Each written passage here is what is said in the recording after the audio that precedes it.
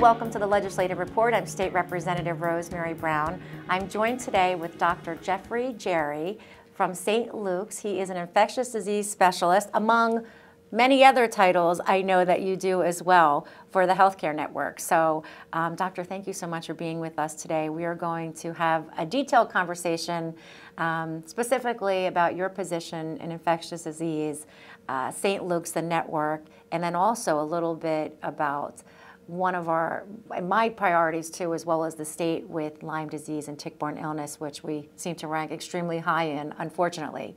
So thank you for being here. So Thank brag you, about Rosemary. yourself. It's a pleasure to be here. Yeah, brag about yourself for a little bit. Tell us about your background and, and um, how you come to the, the network. My, my background uh, is I was trained as an internist with a subspecialty in infectious diseases.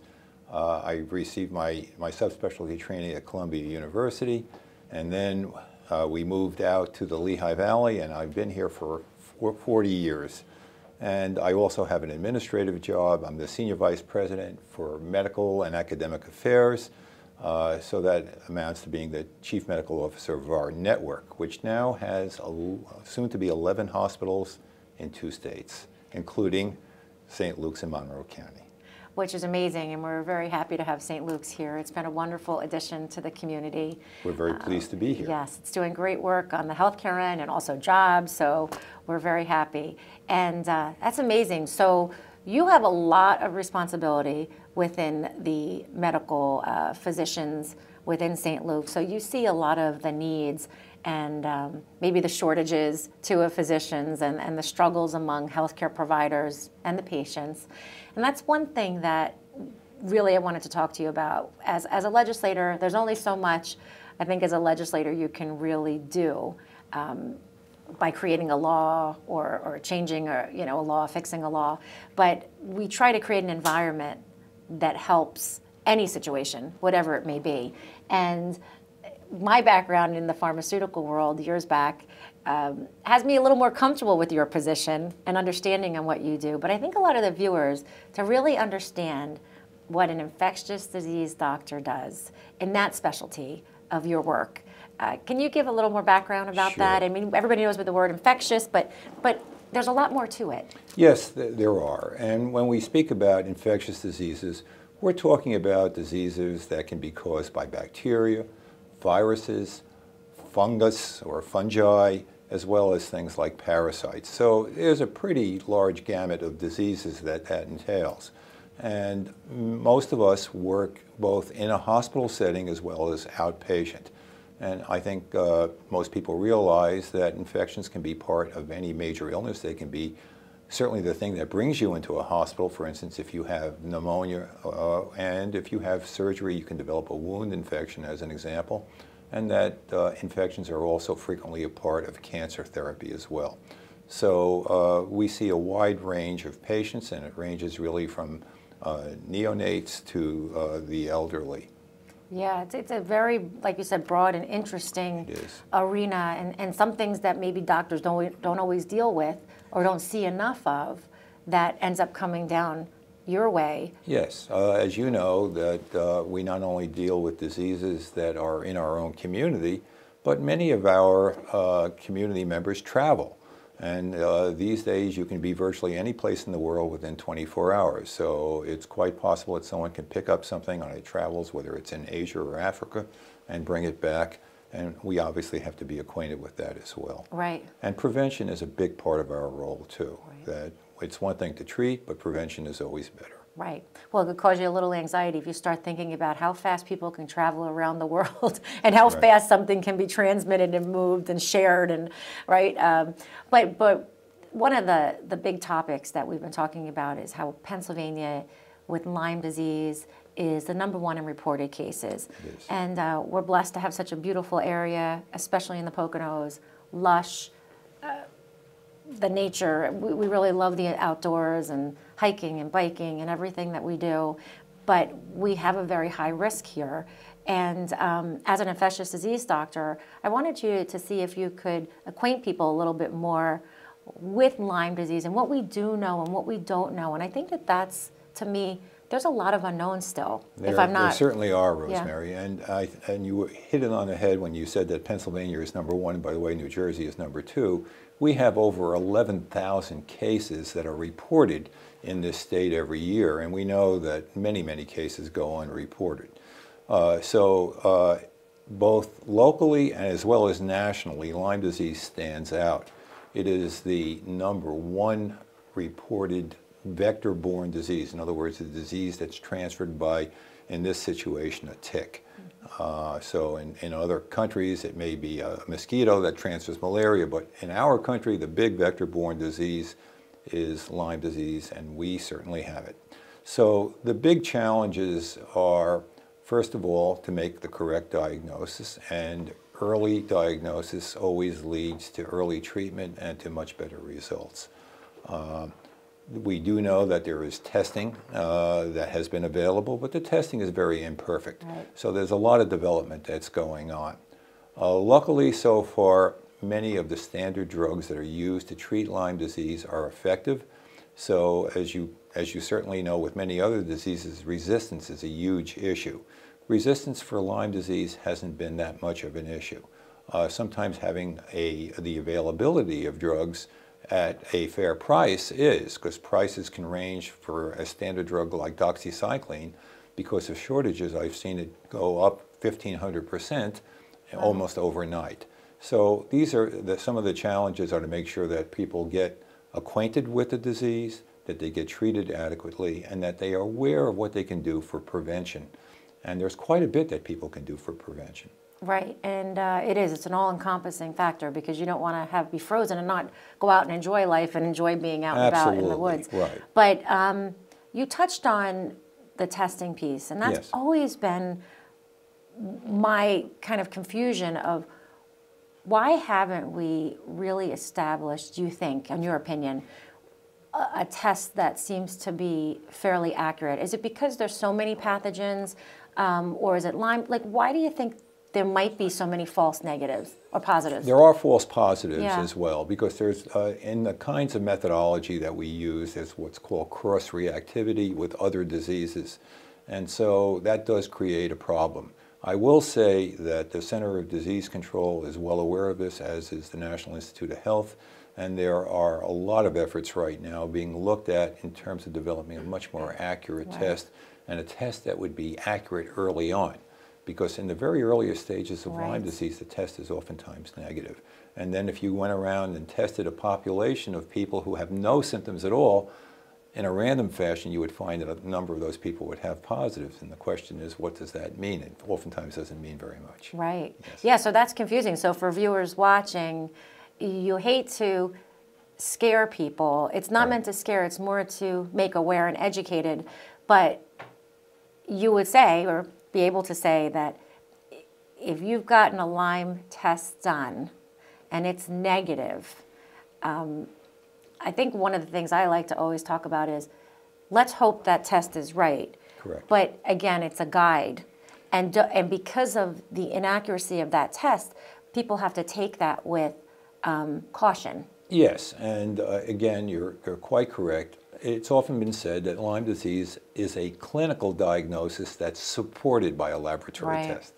Right, and it's true. And I, it's hard to be a physician with this, ki- this type of disease state when you're kind of going on symptoms that you might have and I might have that might be very varied, right? That's correct. Depending. So, so one Lyme disease patient and another Lyme disease patient could present very differently. Yeah, there are multiple presentations, and that's one of the things that uh, you begin to appreciate if you've been seeing this over a number of years, that not everybody is a textbook, and even the standard rash can vary in its uh, expression.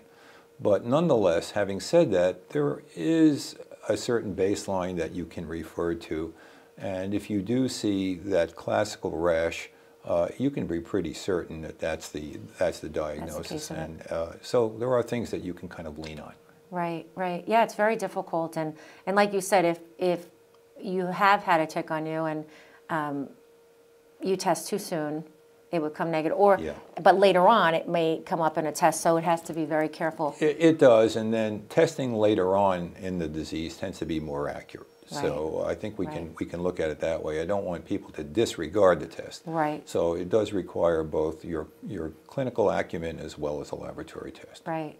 So would you say it's fair, and I hate to put words in your mouth, you know, I, I kind of feel this way, but it's almost like you have to be your best advocate with this type of uh, disease state if you feel something is not quite right, not going away, Yes. or if it's, you know, been tested for a lot of other things, but it just keeps coming back, whatever the symptom may be, you know, being that we're, we're pretty high on, on the scale for this, because some of these ticks are so tiny that you would never find the tick, right? Yeah, it could uh, fall off. and, and uh, again, I think that's a very important point that only about up to two thirds of people can really give you a history of knowing that they've been bit by a tick because oftentimes the tick uh, is so small that uh, you don't even notice it.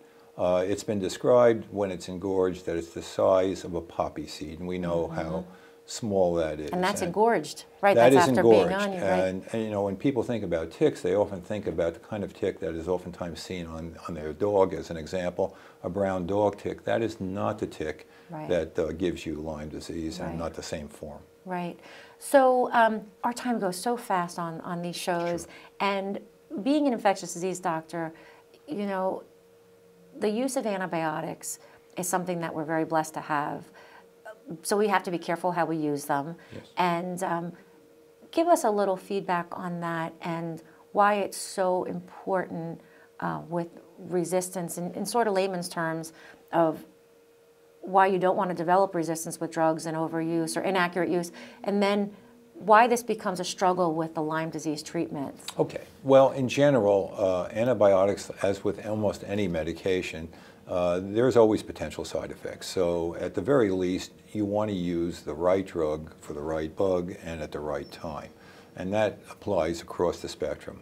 Uh, for Lyme disease, certainly that is true as well. Uh, it isn't the only tick-borne disease, and we also know that uh, oftentimes it, uh, it can coexist with other tick-borne diseases such as ehrlichiosis or anaplasmosis, babesia, which we, by the way, our group was the first group to, to report its presence in Pennsylvania, and now it is certainly well entrenched. So anywhere between 5 and 25 percent of people who have Lyme disease will have a coexisting infection, and you have to make sure that you're using the right drug that might be appropriate for, for those things as well. Right.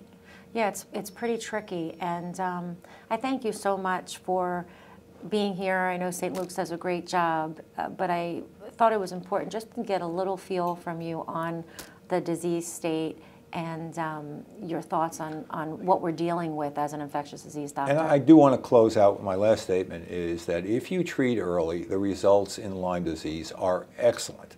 And so a lot of the things that people are very uh, afraid about and that they've heard, it really won't occur if you can get good early treatment. The results are truly very, very favorable. Right. Well, thank you so much, doctor. And I think that that's a great break to take because if you're aware and you're paying attention and you're educated on um, risk factors and how to prevent, and if you do not feel well, to get treated as soon as possible. And I noticed that you have a lot of educational Yeah. materials in your office we that do. are available. we so do. But thank you very much. It's my pleasure. Thank you. We're going to take a quick break and we'll be right back with the legislative report.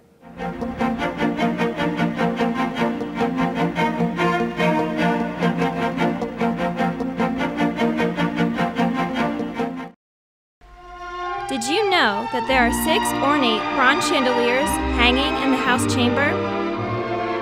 The four large chandeliers are estimated to weigh three tons each. Yet these iron and brass fixtures, painted in 18 karat gold, manage to dangle effortlessly.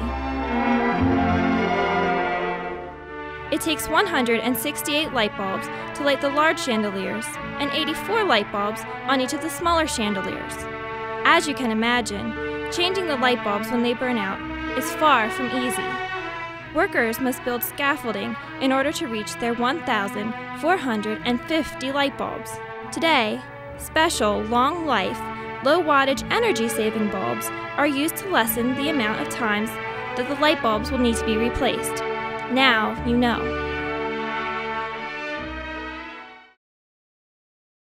Welcome back to the Legislative Report. I'm State Representative Rosemary Brown. We're continuing our conversation on Lyme disease and tick-borne illness in Pennsylvania, and I'm joined by Harriet Loiseau. Right? I said it correctly. Loiseau, was, yes. was Loiseau. Loiseau. See, I knew I was going to do that That's to you. okay. Um, nurse practitioner provider with uh, Wayne Memorial um, Community Health Center and part of the Tick-Borne Wellness Center that we have in Pike County now established, which is tremendous. So very excited to have you here. I think I'll be learning through you even more so as we, we do our conversation today and hoping to provide that to the people who are watching that they may have a resource out there as we are concerned with our um, number one status of reported cases of Lyme disease in Pennsylvania. So um, before we start, I, I did want to point out to the viewers that um, we have worked very hard. I've established a grant program with East Stroudsburg University that if you are lucky enough to find a tick on you or on one of your family members, that you can remove the tick and have it tested for free. Uh, they will test for Lyme disease and three or four other pathogens at East Stroudsburg University. So that is through a grant from the state. Um, that gives us a chance to understand what's inside these ticks, and it also helps you as a, a resident of Pennsylvania to have a tool to work with your physician. Again, it's a tool to see how long the tick has been on and engorged, and if the tick does present with any sort of pathogens in it that you may have a concern with your physician. So, um, good to know, ticklab.org if uh, anyone is interested. So, on that note, um, unfortunately, if someone is concerned or believes that they have uh, Lyme disease or tick-borne illness, this is where you come in as uh, really a, a, specialty for something that has never been developed before um, in our area or region or even across the state as much as I've heard. So tell us a little bit about yourself first of all. Let's let you brag a little bit. Oh, not, not a lot of bragging. Um, I'm a family nurse practitioner, um, educated and certified, board certified by the American National uh, Nurses Certification. Um, I had worked for New York State Department of Health, communicable disease supervisor, um, and we were seeing Lyme disease as early as the 80s, um, shortly after Lyme, Connecticut right. had, had been identified. Um, I think what's exciting about what's happening in Pike County now is that through the Pike County Tick-Borne Disease Task Force, the Wayne County Lyme Disease Task Force, um, and the collaboration with Wayne Memorial Hospital Community Health Centers um, and Executive Director uh, Frederick Jackson, that we've been able to open a tick-borne disease wellness center. Um, we're located at 750 on Route 739 in Lords Valley, Pike County, Pennsylvania. Which is great, which is absolutely wonderful because you're not having people have to drive hours and hours to go to someone that may have a little bit more focus on this type of disease state. Correct. So as we look at the Wellness Center and, and we're grateful that this is established here, would I as a patient need to be tested positive before I could go to the center or would I get tested there? How would that work? Um, how it works at our wellness center is basically anyone can come in as a new patient. Um, if they've never been tested, if they suspect they might have Lyme disease, uh, some people cannot remember a tick on them, but they, you know, you, you can pull up information online and it seems as though they might have Lyme disease. Um, you do not need a referral from a primary care physician or a specialist. Right, because that's always a concern for people. Yes. Right. Do I have to go through several channels before I get there to that, that No, specialist you, you do not have to. Some people are, but that is not a requirement Right. to be seen at the Wellness Center. What we tried to do is set it up so there is access to care for everyone. Um, so if you've had a tick on you, we appreciate if you bring the tick in. Uh, if you're removing a tick, whether it's embedded or not, it's a good thing to know A, has it been embedded? B, how long has it been on you, even if it's not embedded? All these little clues help us Right, to care for you, diagnose you, and then come up with a plan. right. The risk factors with everything. Correct. Um, I would say in terms of accessibility, it's geographically accessible to Wayne, Pike, and Northern Jersey counties. Um, It's also, because we take most major, major insurances, even from New Jersey, even if you're out of network, there is a portion that will be covered. And uh, Wayne Memorial Community Health Centers also have a sliding fee schedule. So if you don't have insurance or you're underinsured, you fill out the paperwork, and then you're given the financial assistance that you need. That's nice because I think that's always the concern too, is, okay, great, so I can get in there, I can do this, but will they have to pay out of pocket? Will I have to pay insurance? What is that? So you can sort of find that out just like any other physician's specialty care um, when they're there to kind of talk about the Correct. costs of treatment and things like that. But it's nice to hear that there's a vast amount of insurances that are accepted because that helps, again, like you said, with access of care. So from your end, with the it seems like a wonderful center as far as don't be afraid to call us, don't be afraid to come in if you suspect or if you're already tested for positive for a Lyme disease or tick-borne illness. Um, and then the payment structure and some of the reasonable factors that go along with it.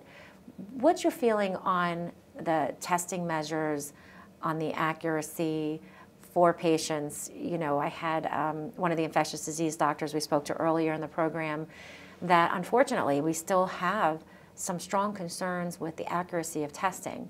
And what I'm really trying to communicate, one piece of this is to use that again as a tool, as well as if you're able to find the tick. These are tools to help you. But can you give from your perspective of your specialty treatment on the testing and, and what patients should expect or what they should be asking for or looking for in the testing measures? Well, what we do at the Wellness Center is if they're new to us, I try to get an ELISA, a Western blot, and a molecular PCR on each patient. Why? Because there are a lot of false negatives as well as false positive, more false negatives. So with testing with a three-tier system, you have a better chance at catching a positive Right, than somebody saying just negative, just negative, just negative. right, right. So you're sort of covering a roundabout basis. Yes, we, we try to cover it as much as we can. Do you, do most physicians, when a patient goes in and maybe they're experiencing symptoms, whatever they may be, because they could be varied, um, maybe we'll ask you that too, as far as what are the most common symptoms. But do most patient, most physicians test all three levels like that, or is it usually one or the other? It's, it's usually one or the other. Um, what I'm seeing patients who are bringing their records in is ELISA and Western blot, they're pretty much tied together with, with most labs, um, you know, lab services. Um, or some of them are doing the PCR testing. Without the other two? Correct. Right. So I, it, it's very unusual to see the combination. Yeah.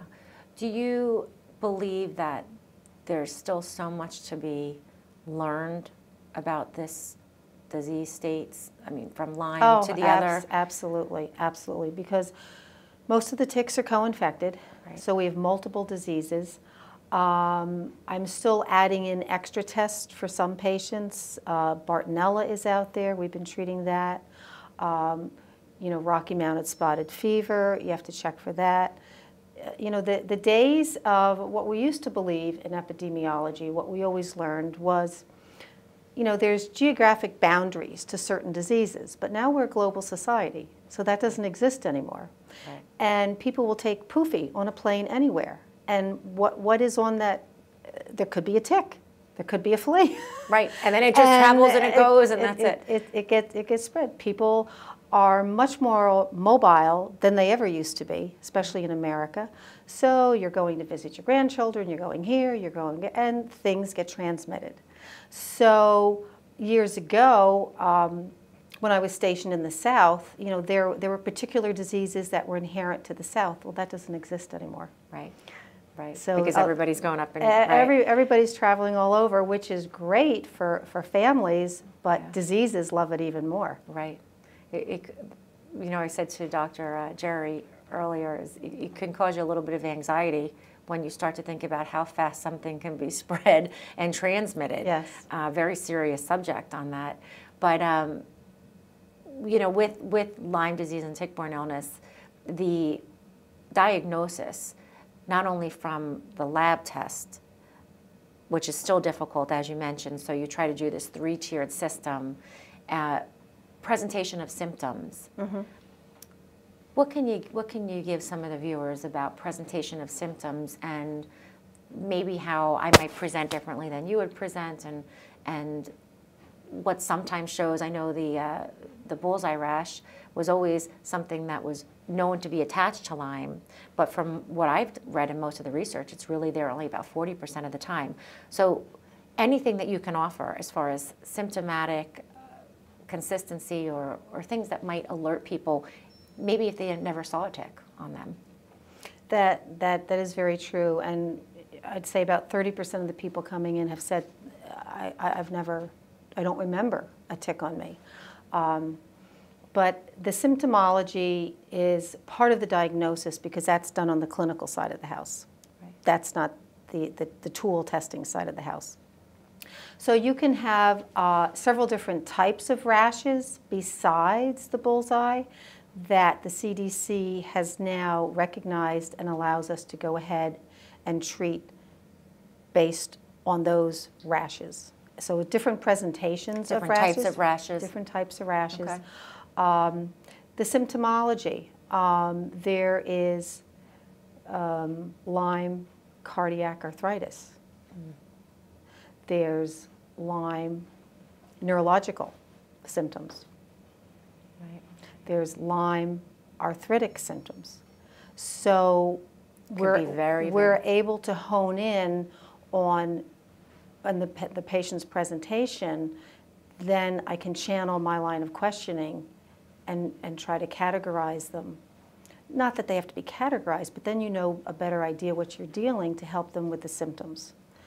So we're not only treating the tick-borne diseases, part of our philosophy, why we opted to call it a wellness center, is dealing with the fatigue syndrome, the pain, helping people navigate those waters, as well as recovering from the acute process of the Lyme disease. Right. As we go through this as a state and a country, uh, this, this, these new disease states, uh, it's, it's wonderful to have such a great center right here in Pike County um, and very accessible. So that the time on the show goes so very fast, Harriet, but I thank you very much for being here. Thank you for having um, us. You know, talking a little bit about more of this in detail and then also giving how people can, can utilize the center. So I'm going to let you throw out the phone number real quick if you know it. Do you know the phone number off the top of your head? If not, we'll put it up on the board. But Okay, 570-775-7100. Good, good. Sometimes I know, it's, it's, you know, you're so used to just going there and working. So, um, but, but that's, an if, and this is great information for everyone, so thank you again. Thank you for having me. I appreciate it. Thank you for joining the Legislative Report. I'm State Representative Rosemary Brown. If you have any questions regarding this show or any other state-related matter, please feel free to contact my office.